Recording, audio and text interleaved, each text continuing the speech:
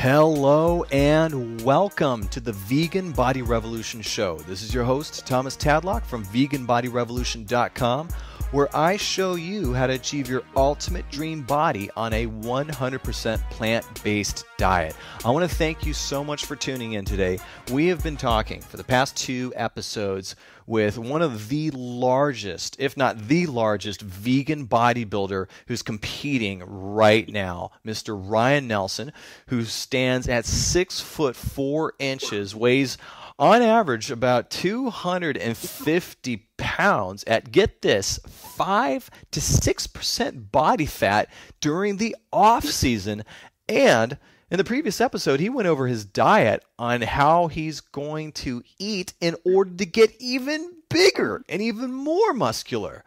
I can't wait to see how that pans out. And I think that you need to get, definitely check out the previous episode if your goal is to gain more muscle so you can find out how it's done by one of the biggest dudes in the game. In this episode, Ryan is going to go over exactly what he does with his workouts step by step, rep by rep, exercise by exercise, day by day to be able to create this insanely muscular physique and to keep it growing. So let's not waste any time. Let's bring him back. Everybody, please welcome back to the Vegan Body Revolution show, Mr. Ryan Nelson. Tom, how you doing, man? I am just blown away at the amount of food that you eat every single day. It's uh, it is so impressive and it's I'm looking at it. Look, it's definitely well worth it to have a physique like yours, brother. That's incredible. So now I want to find out how to put this together with your workout routine to be able to get some serious results in gaining muscle on a vegan diet. So let's go over your workout. Okay. Um, where should I start at? Let's start out with Monday. Okay, let's start out with Monday. Monday morning, I will usually get my cardio and ab workout in, which I usually spend about 40 minutes to an hour. I'll uh, dedicate anywhere from 15 to 25 minutes of cardio to start it out with. And that'll usually consist of a incline treadmill interval intervals where I will go from a power walk all the way up to a sprint, one minute on, one minute off. I usually stick to uh, something close to that. And after, what uh, what do you have your my, settings set to? Like, so how much of an incline do you have it at? I, I keep it uh, usually between the eight percent and fifteen percent range, and I'm all about the incline simply to build calf muscle.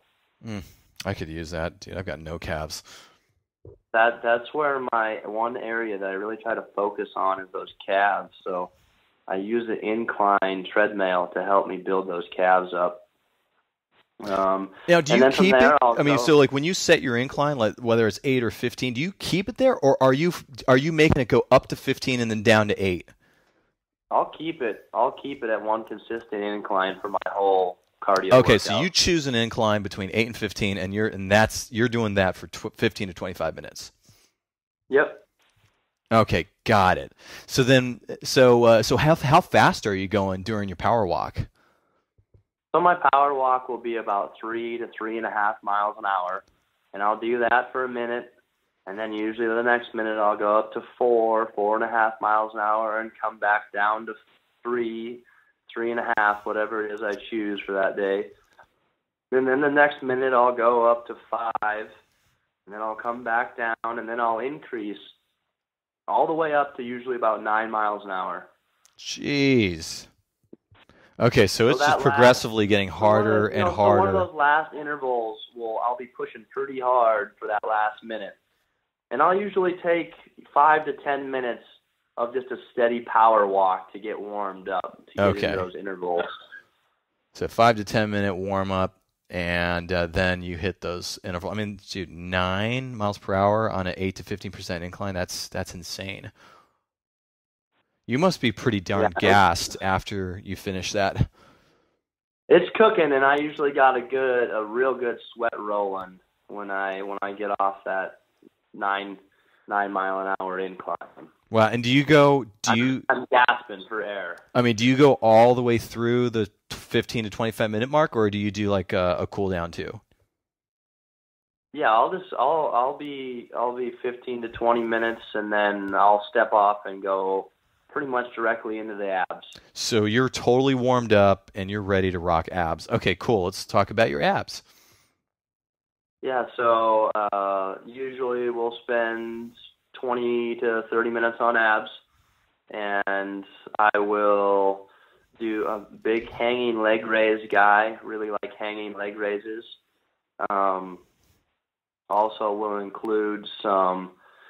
We have a crunch machine at my gym that, you know, as much as crunches aren't my favorite thing, they seem to be pretty effective for me. So I'll either choose reps or I'll choose weight. You can stack some weight on there. So sometimes I will do reps of 10, or sometimes I will choose to just bust out 100 reps of crunches on the crunch machine. Um, we'll incorporate in some plank movements. Let me let me get this. Where- So you when you say like rep, you mean you'll do sets of 10 and do multiple sets, or just bang out a Yeah, hundred do- straight reps nonstop? Multiple sets of 10 weighted. Usually 10 sets of 10 is what I'll do if I'm doing them weighted. And then or or do like a hundred straight? I'll just do I'll just do I'll just try to rep right through a hundred of them. Holy crap! With as much weight as you can. I- Got it. Okay. Yeah, and then the I leg raises. what are your reps and sets for your some- le- your hanging leg raises? Yeah, and then the hanging leg raises, I'll usually do five sets of ten on the hanging leg raises. Um, and then I'll come in and do what I call a benched oblique movement, where I have my legs hooked on the bench, um, and I'm kind of lying on my side. I would call it. Have half my torso hanging off the bench, and I'm coming up and I'm crunching those obliques, and I'll do three to five sets on each side uh, reps of 10 to 15 reps with a good squeeze in those obliques at the top. Mm. And are you using any any extra weight with this? On those, I don't I don't ever need to use any weight. I sometimes will use an incline to make them a little tougher. Mm-hmm. Incline, decline. Got it. And then when when you're doing the leg raises, I I saw a picture of you doing it. You go straight leg on your leg raises, right? I do. Yeah, I do. that's pretty pretty freaking hardcore. Okay, straight legged. Got it. So you got the straight. You do five sets of straight legged leg raises, and then you got you're do, you're doing you're doing hundred reps uh, total um, of crunch machines. So that could be ten sets of ten or a hundred straight reps, and Yep. and then uh, and then you're benched oblique. Uh, you're doing three to five sets on each side of ten to fifteen reps. I mean that's a lot of volume already. Yeah. Yep. So that'll usually kind of cover the abs for the day. You um you spend twenty to thirty minutes on. How much rest are you getting in between sets?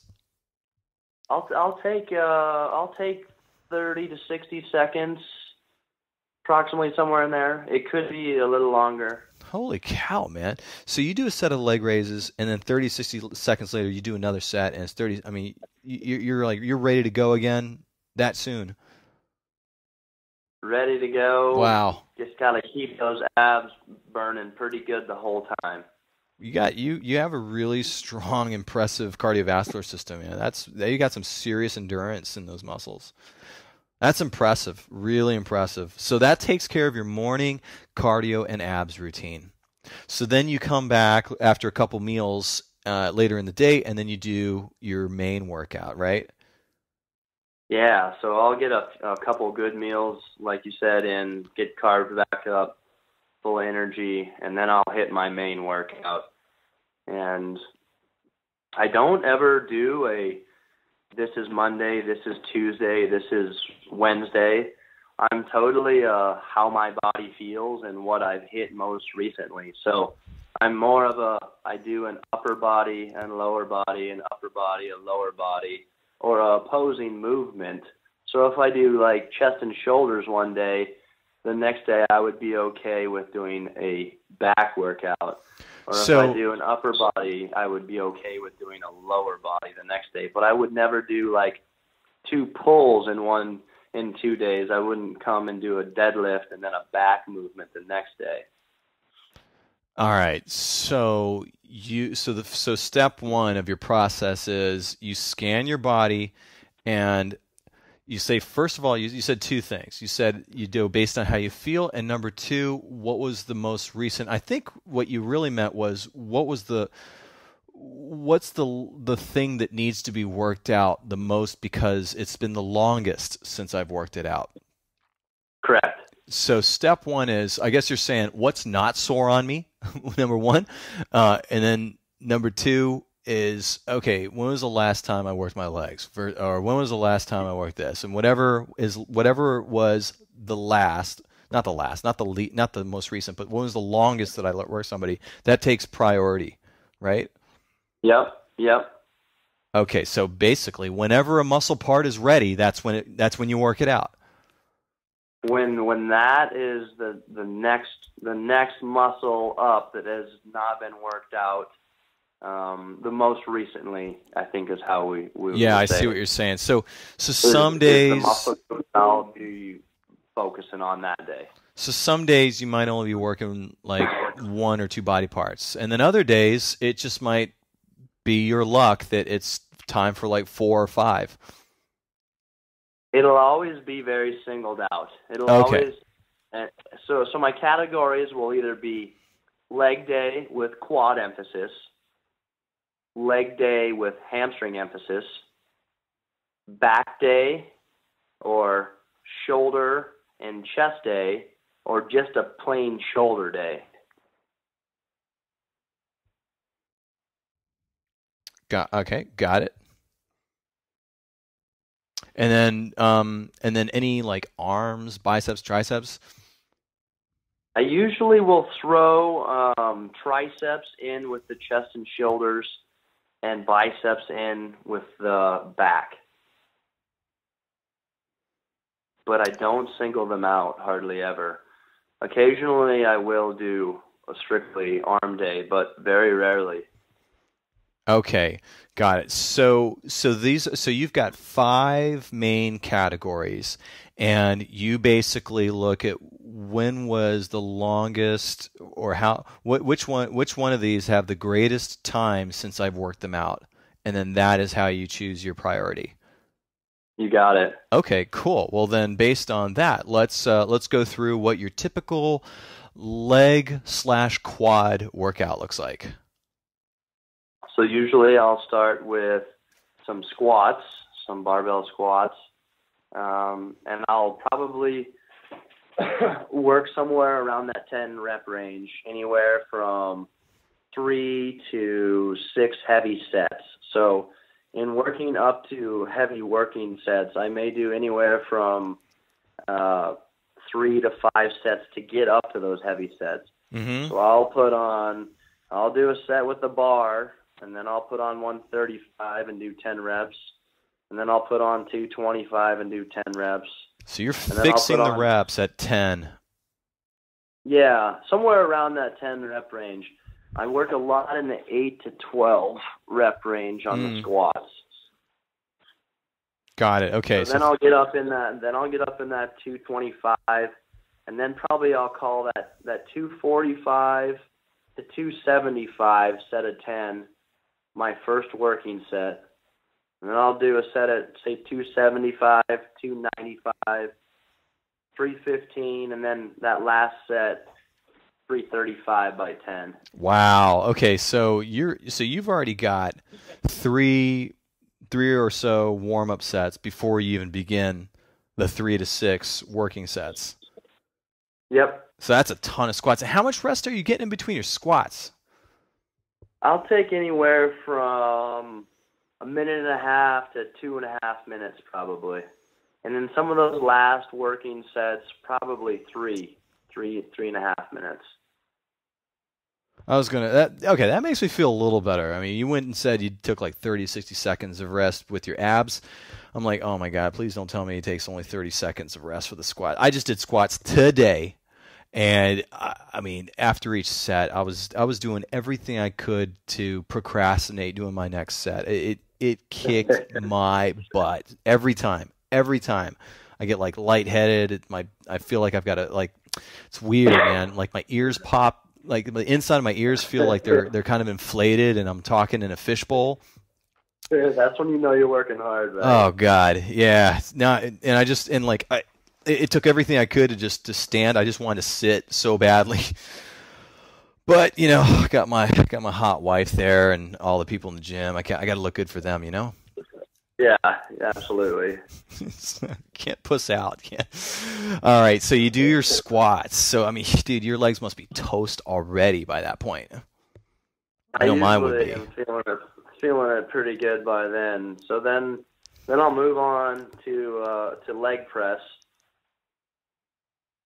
and usually do some leg press behind that. And I'll keep the leg press a little higher reps. So I'll I'll go anywhere from 15 to 20 reps on the leg press mm-hmm. and I'll work three to five working sets of leg press. Doing the similar type of uh, warm up leading up to the working sets. Yep, I'll throw on one plate, two plate, three plate, four plate, and then I'll be working sometime around five plates. Yeah, yeah that's awesome. All right, so three to five of those, and then what's after that? And then usually some kind of hamstring movement I'll put in there. I'll always touch on. it. Well, this is quad. This is like this is your quad emphasis day. It is quad emphasis day, but I'll still make sure I touch on those hamstrings. Okay, got it. so I'll probably either do a dumbbell stiff leg partial hamstring movement, or I'll go over to a hamstring curl, or I'll do some kind of hip bridge to involve those hamstrings in. And then what kind of reps and sets are you going for there? Um, depending on which one I'm doing, probably around that 12 to 15 reps. And sets? Three to five. Three to five. Okay.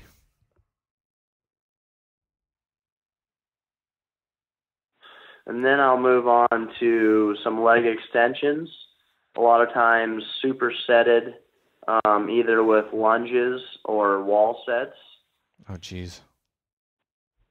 So those those are always a, a combination that really just finish the legs off for me. So I'll I'll do um, leg extensions and go right over into a minute wall set with one with a with a 45 pound plate on my lap and go through that three times, or I'll do some lunges um, about 10 reps of each extensions and lunges. And, and either of those two, my legs are, are good for the day. Yeah, I bet. How many sets are you doing of those? Three sets. And done. and done. Done. Wheel me to my car. Call my wife so she can carry me home.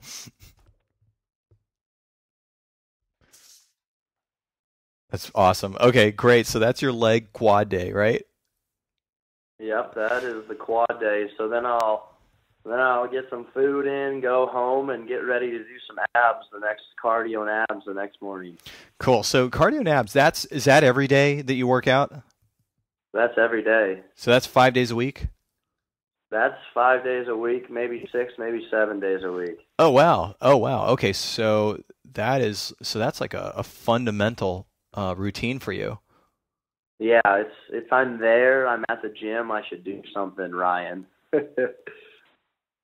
and then, so let's let's since we just talked about your legs and quads day, um, how does that differ from your legs and hams day?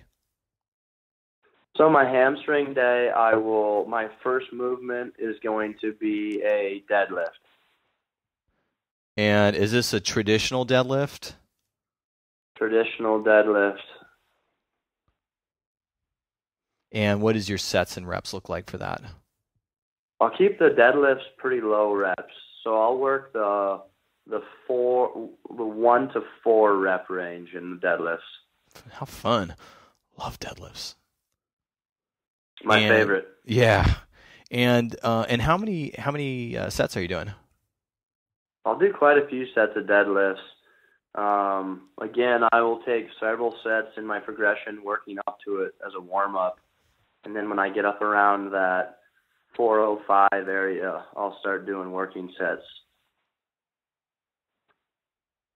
And around how many are you doing? Uh, then I'll be doing probably three to five working sets. Um, And doing- sometimes more than that. When you're doing your deadlifts, uh, do you do them like some guys do? You pick it up and then drop it, or are you lowering it down, touching, and then picking it back up again? Uh, no, that's that's my that's my big pet peeve is on deadlifts lowering it down in control because I feel like as important as the pull on the way up is the control on the way down.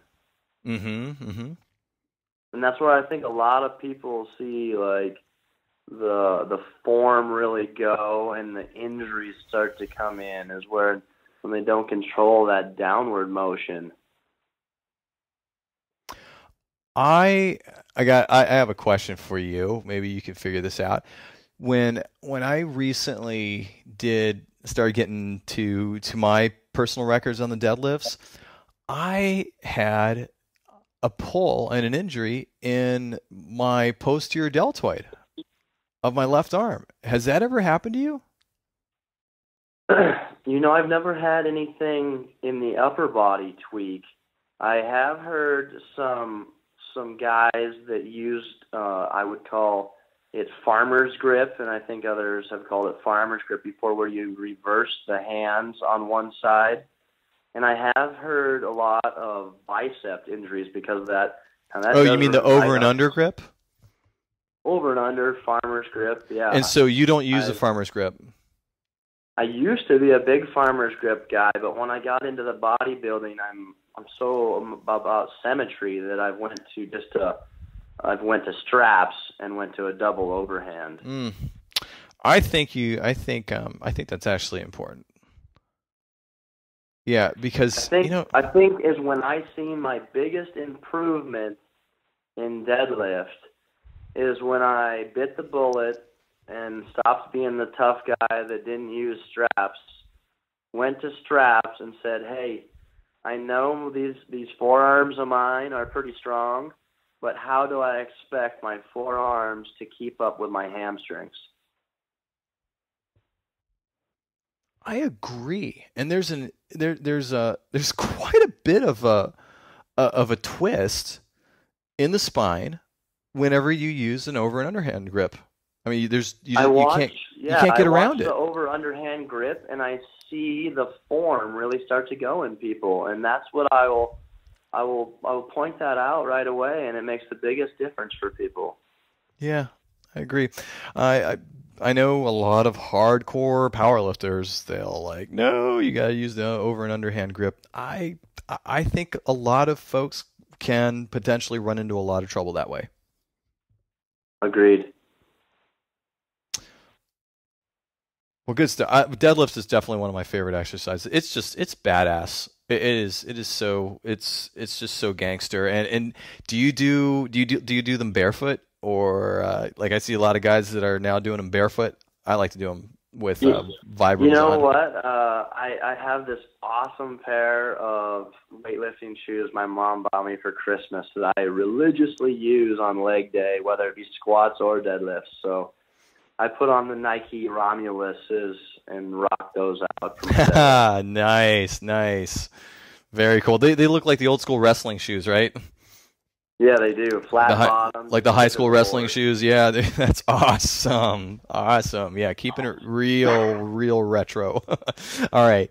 After deadlifts, what do you do?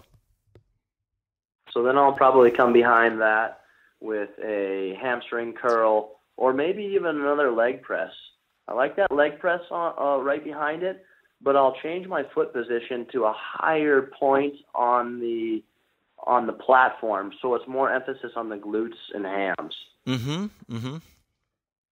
And what's your sets and reps look like for that? and again, I'll keep it pretty close uh, to the sets and the reps I do on the quad day, um, anywhere from that 15 to 20. Um, but I will use that leg press machine sometimes and do some higher reps than that too. So you're doing three to five sets of 15 to 20?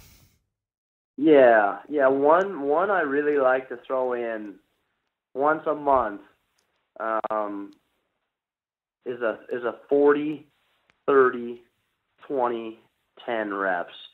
So you do 40, you strip it down, drop set. This is a drop set. You do 40 reps, and then you drop a plate off, and then you do 30 right behind it. You drop a plate off, and you do 20 right behind that, and you drop a plate off, and you do 10 right behind that. Nice. I'll throw I'll throw a little variation in there, have some higher reps every once in a while, but for the most part, 15 to 20 reps on the leg press. And and is it an either or ham curls or leg press, or are you doing them both? I'll do them both, but just depending on the day is which I'll bring in, which one I'll bring in first. Okay, so for your ham curls, how many reps and sets are you doing? I'll probably be around the 10 to 12 reps range on the hamstring curls. And sets? Three to five. Three to five. All right, great. After the ham curls? Uh, so then I'll give a little touch of quads. Okay, and I'll do some. Uh, I'll probably do some front squats or some leg extensions or some lunges. All right, and reps and sets for those? Again, I stay in that three to five sets of ten to twelve reps. Awesome. And then after that? After that, I'll be. I'll probably be pretty close to finished. I will maybe do a little abductor adductor work, uh, but after that, I'm I'm usually pretty good. Okay, so you jump on those, the. those deadlifts, those dead. I usually spend a lot on those deadlifts. I'm pretty toasted after the deadlifts, um, and then doing doing the leg press, um, and coming behind that probably with some hamstring curls, extensions, lunges. I'm usually pretty pretty done, but we'll sometimes do a little adductor abductor work. Um, that's about it. doing three to five sets of abductor and ad, adductors too? Yeah, probably three sets, three sets of twenty. 20. And then, okay, and then that's it. And do you get them both? Absolutely, I hit them both. They're right next to each other in the machine, so So you just bang them out as, and then, and then yeah, it's over. call them. I, I call them sister machines. I like to hit them both when I'm doing them. Yeah. Cool. So then that completes your, that completes both your leg workouts. Yep. Right on. Interesting, man. So far, so good. So we got the legs and quads, legs and hams. Let's do uh, back and biceps next. Back and buys. Okay. Um, so one of my favorite back movements is a bent over V bar row. I don't know if you've ever set it up before or not, but I, I go over and I steal the handle from one of the pull down machines. Love that. Yeah. just a, a small V grip Yep. and then I'll just I've found that there's a little chain at the gym I have that I can connect the chain and the V grip and just a barbell together. Oh, a barbell. Okay. Yeah, a barbell. So I've got the barbell. Oh no. Okay. No. I'm th- okay. Yeah. Barbell. I've got the barbell butted up against one of the corners. corner, Of the, yep. Of, of a wall, and then I'll I'll have the it in between my legs, and I'll be rowing the bar up towards me with some plates on the end of the bar. Uh, maybe you've seen it done. It kind of almost mimics a T-bar. Yeah. I. Okay. So let me understand. Where does the chain come into play? The chain comes into play just to give you a little bit of distance between the barbell and the V grip. Got it. So, because when I've done it, I, I literally I just hook the V grip underneath just the bar. straight hook the V grip right onto the barbell. But I've I, I feel like I get a little bit better movement if I actually distance the V grip and the barbell from it, uh, space it out just a little bit. How uh, how much uh, So, how much chain length do you have between the connection? About about six to eight inches, I think, and that puts that